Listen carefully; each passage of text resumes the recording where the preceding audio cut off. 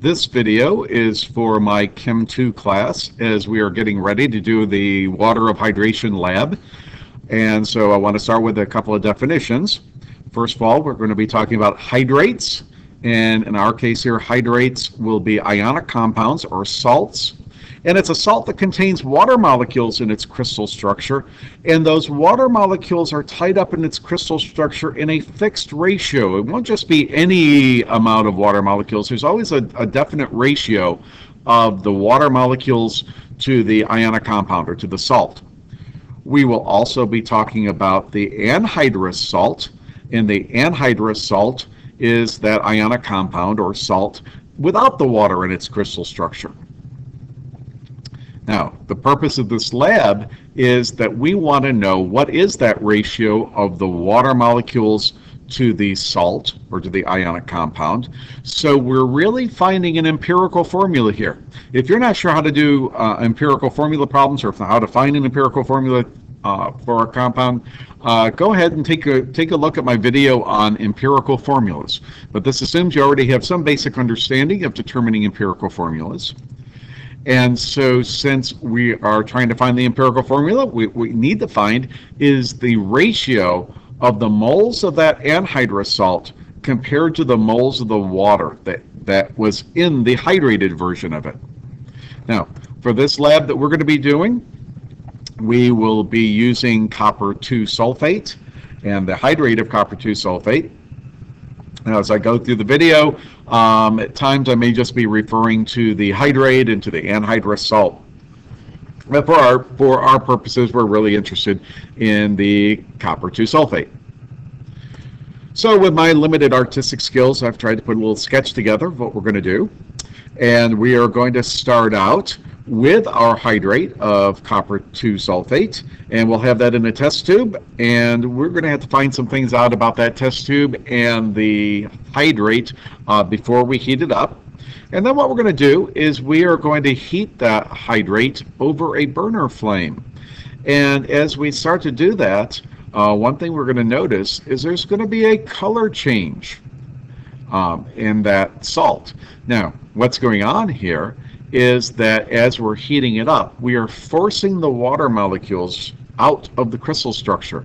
So we're going to be driving off the water. The water vapor uh, or the water that was in the crystal is going to be leaving in the form of water vapor and should be exiting the test tube, which means that what we have left over in our test tube is our anhydrous salt. So after heating, our goal is to have just the anhydrous salt in the test tube and to remove all the water from that crystal structure.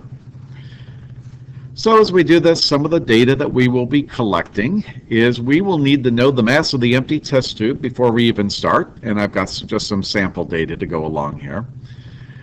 And so we have the mass of that empty test tube. Then we will put our hydrate, our copper 2 sulfate hydrate, into the test tube, and we will get the mass of the test tube with the salt in it before we heat it up. Then again, we will be heating up that test tube with the goal of driving off all that water out of the crystal structure. Then we'll let our, our test tube cool down and then get the mass of the test tube and the salt after heating. So to pull our picture back in here to show well what we're going to have here are those three pieces of the data. And when we analyze this we have to recognize that what we're ultimately going for here is that ratio of the anhydrous salt to the water. And so um, in order to find that out we need to start and find out well what's what mass of the anhydrous salt do we have and what mass of the water did we have in this? And so we'll start with the anhydrous salt and we have to recognize that after the heating, our goal is to have just the anhydrous salt in the test tube. So if we take that mass of the test tube plus the salt after heating, and we subtract out the mass of the test tube, remember we didn't change the test tube along the way, um, that we should be left over with just the mass of the anhydrous salt. So for our example here, uh, we'll just plug in our numbers and we could determine that in this set of example data, um, this should give us the mass of the anhydrous salt is 4.114 grams. Now we'll take a look for the water that was in that uh, hydrate to begin with. what we should recognize here is the only difference that we have before and after heating is that before heating, the test tube contained the water that was bound up in that hydrate, and after the heating, we tried to drive off all that water. Where our goal was to get rid of all the water. So the difference between the, the mass of the test tube and salt before the heating and after the heating, the difference between those two masses should be the mass of the water that we drove off from our hydrate. And if we did a perfect job, we'd completely get rid of all the water out of there and be left with nothing but the anhydrous salt. And so plugging our numbers in from our example here would lead us to uh, having 2.322 grams of water. So we'll just take a look at these numbers again. We've got our 4.114 grams of the copper sulfate, and that's our anhydrous version, no, no water in there. Then we have our 2.33 grams of water. And at first glance, we may be tempted to take a look at this and say, well, we've got a, about a 4 to 2 ratio here. We have a 2 to 1 ratio of the copper sulfate to the water. But we have to be careful because in a chemical formula, we want a ratio of the particles or we want a ratio of the moles of particles. We don't want a ratio of the mass of the different compounds. And if we just try to do that 4 to 2, that's going to be a mass ratio. We want a mole ratio. So we're going to be using the molar mass. And we will use the molar mass of copper sulfate to determine how many moles of copper sulfate were in the test tube. Likewise, we'll use the molar mass of water to find out the number of moles of water that we drove off. And now we will take a look at these numbers because we have now we have this mole ratio. And as we look at our mole ratio, well, this won't go real well into a, a chemical formula. So we want to get this on a nice whole number and the lowest whole number ratio we can we can have. Of course, we know the lowest whole number, or at least the lowest positive whole number we can have is 1. So what we will do is we'll take the smaller of these two numbers and we will divide both our number of moles by that smaller of the two numbers. That way we keep our ratio consistent.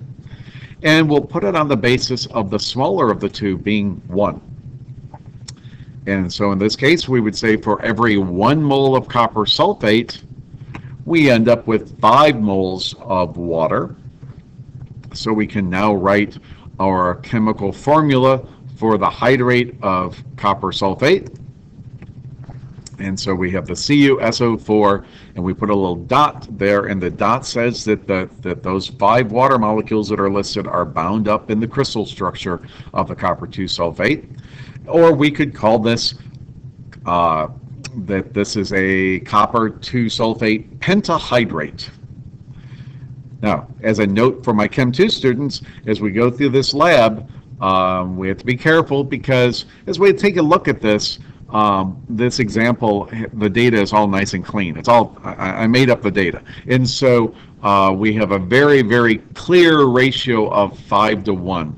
But in this lab, there's lots of little things that can go wrong and uh, that will lead us to answers that aren't quite as nice and neat and pretty as this. And so even though we know that copper copper 2 sulfate is a pentahydrate, uh, don't be surprised if your if your numbers lead you to a different conclusion.